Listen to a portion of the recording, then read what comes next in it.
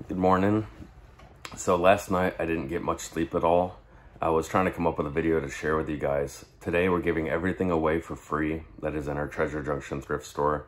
The reason why I was doing this is because I wanted to be able to share the most um, priceless gift in the world, and that's salvation. Um, Jesus died and gave everything so that you could be forgiven and have a relationship with him. If I sound or seem sober-minded, it's because I'm very sober-minded right now. I woke up and I had a dream last night and makes me really sad. But I was actually at a funeral which I did not not attend and I should have been there. Um, I had a friend, her name was Chelsea, and I didn't talk to her for many, many, many, many years. I, I remember the last time I, I, drove past her and she drove past me. Um, I thought a lot of her. My heart wanted to reach out, but I did so many things um, through the times when I was doing drugs and things that I, I broke a lot of bridges and I just assumed everybody was talking about me and nobody wanted anything to do with me. Um, whether it was to do with the things that the people that I robbed, um, or, or even if it was to do with once I became born again, then I started beating people over the head with the gospel saying, you have to be saved, you're gonna go to hell. And I, I, I didn't have much tact to it. So, so I, I, I was used to people um, really judging me kind of harshly. So I, I say this because in, in the dream last night, um, I, I, I was weeping, I was sad um, over the loss of Chelsea. And then I look, I looked up and it kind of kept turning into different funerals. Um, the next one was my, my, my friend Chris, um, who also passed away. And I had another friend, Chris, that passed away. Um, the very first person close to me that I could remember, his name was Rocky. Um, I remember being very shocked. Uh, he got hit in the head with a two by four and he laid over and fell asleep in a ditch. And I just remember that really impacting me. So my Uncle Jack passed away recently and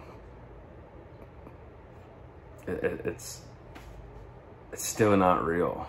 it, it is, and I'm 100% aware of it. I've, I've grieved, I've gone through it, but but it's also, that's that's what death does to us sometimes. We're so used to having people in our lives that we can contact them and talk to them whenever we want. The biggest thing that I realized this morning was there's so many people that I love, that I care about, but I no longer communicate with.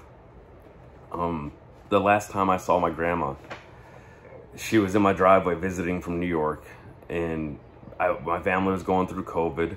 So she drove in the driveway. She was in the passenger side. They had the window down. We're talking from a distance. And I remember not being able to hug her when she drove out of the driveway. And it really affected me because my grandma's hugs was the most favorite person in the world for me to get hugged by. Her, she was just so full of love and just so full of joy, especially when, when she got to connect to the people whom she loved the most. So I, I was crushed that day that I couldn't just squeeze her and get a hug from her. I didn't know it was going to be the last time I saw her, but, but it hurts. Um, I had a, a, friend named Frank, and he was a friend of all the vendors at Brentwood Street Flea Market. I remember the last words that I spoke with him. I didn't. I, I thought I was going to be able to see him the next day. I had no idea that he was going to get sick. I had no. I had, we never know. We never know. So, I really, really, really hate going to funerals. I've I've been to so many of them. So many of my friends, relatives, and acquaintances have have passed on. I remember going to one in Adams Farm. It was uh, my neighbor's Chris. I, he went to school with me. I grew up with him. And he was actually killed. And on the way there, I'm with my friend Mike. And Mike was like a big brother to me. We were very close. And we're, we're driving there. And I told him how much I, I just didn't want to go, how I hated funerals, how, how I'd rather skip it. Um, but I wanted, I was his ride. And he looked at me and he said, Nick, he's like, you can't miss funerals. They're the, they're the most important thing that you can do. He's like, wouldn't you want someone to come to your funeral? He's like, he, he basically said, you're being very selfish. And even if it hurts and even if it's painful, make, make yourself go because people need to, to see you there. People need to know that, that you love the person, that you care for them. And I agreed with him, although it just, it, it kept resonating with me. I had no idea that a few months later, I'd actually be attending Mike's funeral um, they, they asked me if I wanted to say a word, me and my friend Jonathan, and we were, we were very close to Mike. He, he, like I said, he was like a big brother to me. I've always wanted one. Um, uh, one of the things I remember with Mike is I tried to share the gospel with him, and he's like, I just, I don't get it. I can't get it. I don't comprehend it. I don't understand it. And he ended up coming out of a place called Pierce Ministries, and he, he met me at work. He was walking up to me. He had a smile on his face, and I was surprised to see him. And I remember him saying, Nick, I get it. I, I, I believe in Jesus now. I, I have a relationship with him. And the, there was nothing more, um, nothing higher to celebrate. I was completely um, blown away because I've been praying for him to come to know the Lord for a very long time. Um, he did end up passing away through addiction um, that he struggled struggled with throughout his life. Um, I am gonna talk a, couple stories I've never shared publicly that I, I feel like I want to share this morning. Um, one of them is my friend Chris. He he was a part of the same group as Chelsea. Uh, we we had so much fun together. This group, it was just a carefree group, and we, we were all we were all so different, but we loved each other anyway, and it felt like family. And I um I don't know, I, they just accepted me for who I was, and I appreciate every single one of them to the to this day.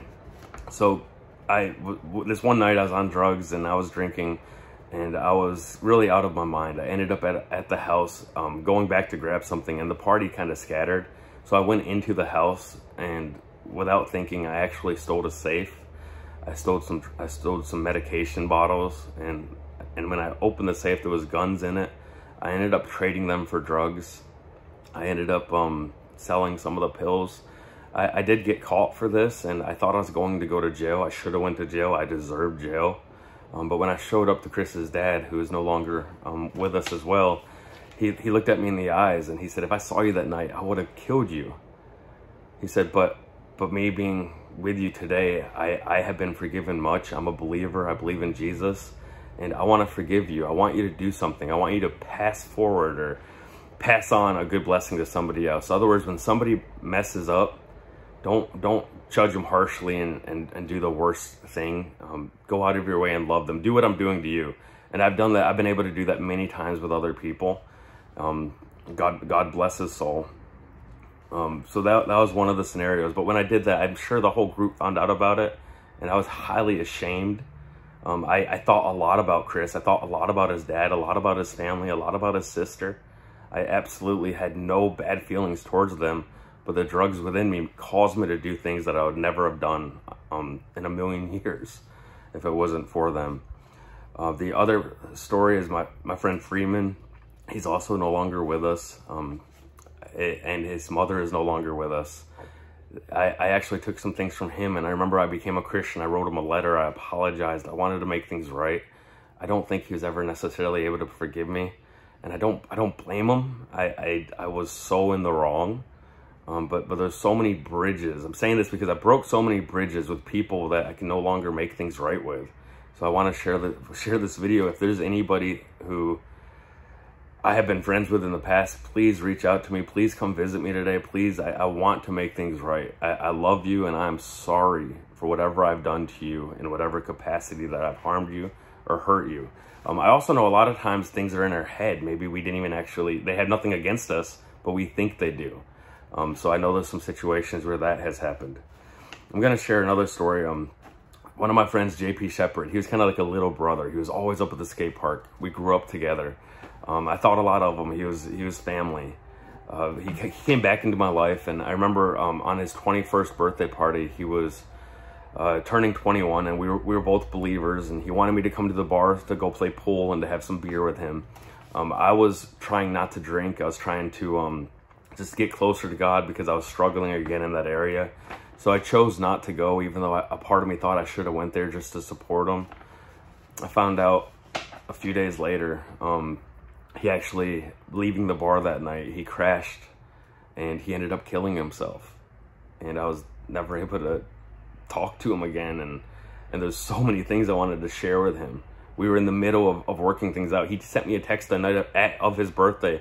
And he said, Nick, he's like, I, I understand why you're not coming. I also want to quit alcohol. He said, this is going to be the last night that I ever drink.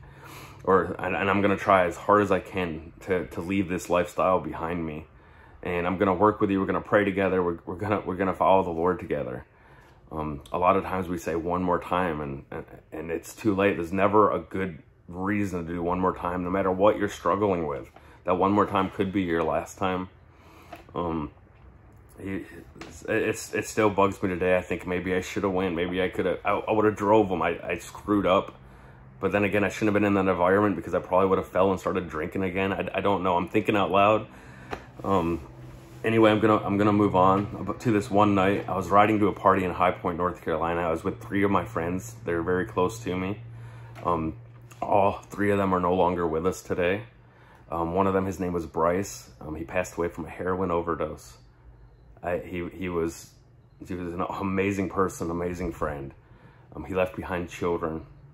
Um, another another one was Freeman was one of the ones in that car, and then the other one was one of my best friends, Lauren. Um, we were very close. We did everything together.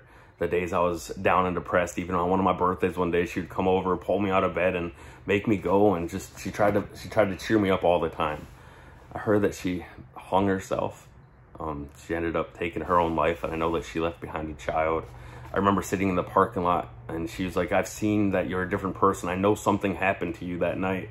I want what you have." And I share the gospel with her, and she was also struggling to receive it. She just couldn't understand it or couldn't comprehend it.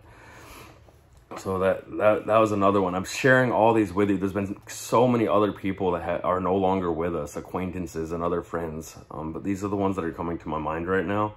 So that night, we pull up to the party, and Lauren was the one that knew these people. I've never met them, never been to the street in my life.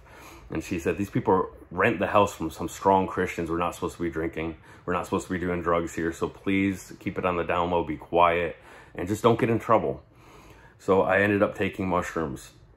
Um, I took I took a lot of them, and and at this house, I started I started off as a trip, and I started freaking out. I I thought everybody was trying to kill me, and I I just I really went loopy and lost it in the middle of this trip though i ended up having revelations or flashbacks and like in what appeared to be a moment uh, memories just kept hitting me and I was, I was like all the things that i've done wrong all the lies i was telling my parents all the all the bad choices that i made they just kind of flooded in me and fear struck my soul for the first time even though i wasn't a religious person i started thinking about heaven i started thinking about hell and i knew with everything within me if i was to die that moment that i would end up going to hell and i didn't want to go there so I cried out to God, and I was not a praying person.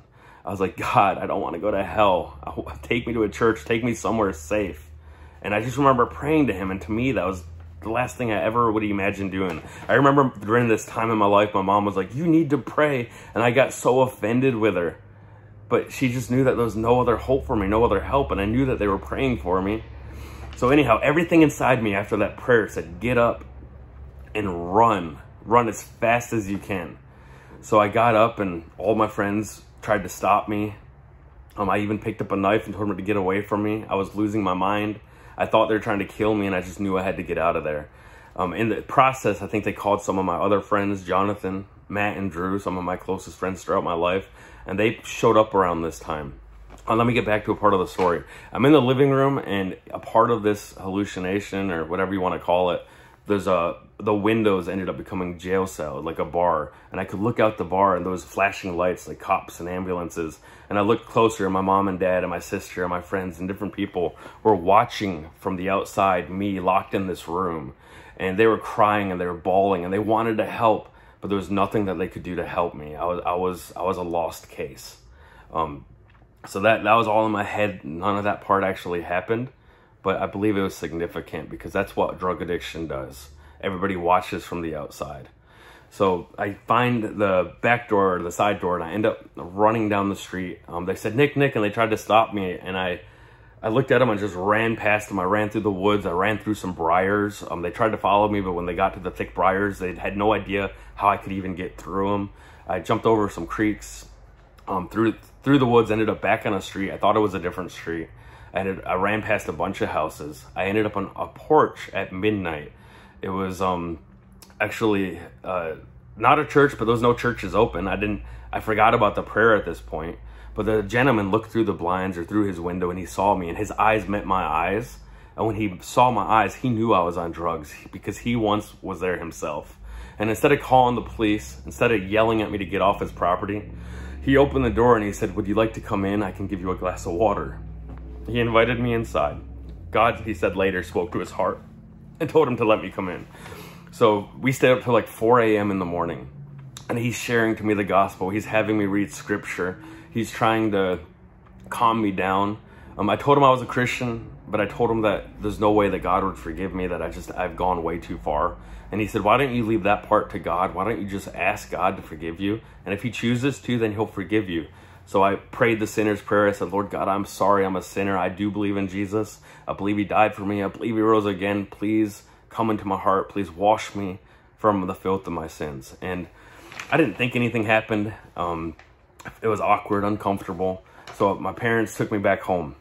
It was either the next night or a night later. I end up at another party at a house I've never been with, with people I've never been with for the most part. This was in Greensboro around UNCG. I remember drinking, but this time instead of drinking and enjoying being drunk, I started getting convicted. I started feeling bad for the alcohol, and I was like, what is this? Something different happened. So then I went into a bedroom I probably shouldn't have been in there, but there was a Bible on the shelf. I picked up the Bible and started reading it, and it started talking about what happened to me, that I became a brand new person in Christ Jesus. The Word of God became so alive, I got scared. I shut the book, threw it down on the floor, walked out of the room, and I believe I left the party at that point as fast as I could. I ended up struggling with drugs and alcohol for a while after that. I didn't get cleaned up overnight.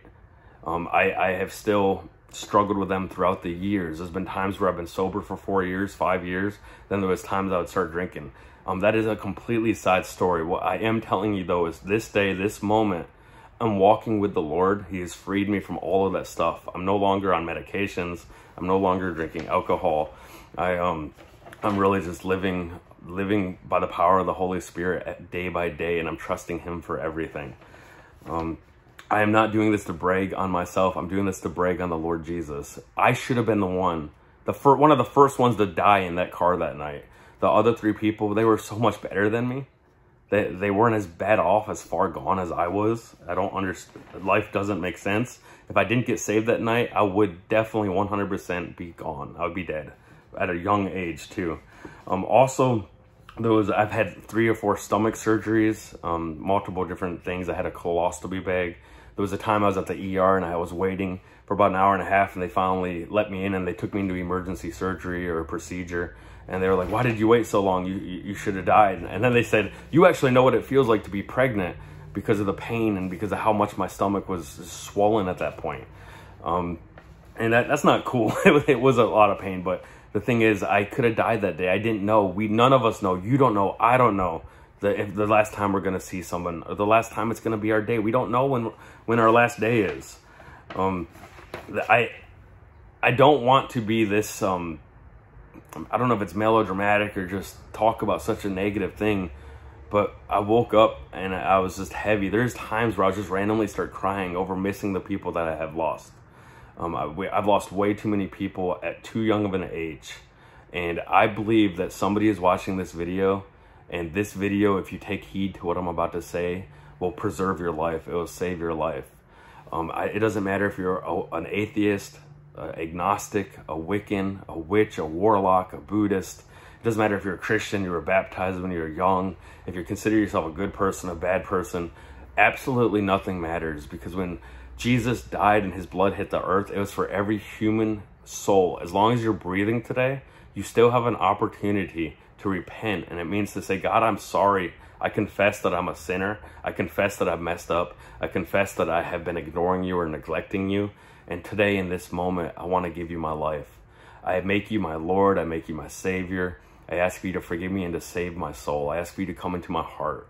And if you do that, it says, if you believe with your heart, you shall be saved. If it says, whosoever shall call upon the name of the Lord will be saved. So I just, I'm going to pray for you. I pray, Father God, for anybody who's watching this video who does not know you as their Lord and Savior, that today would be the day of their salvation.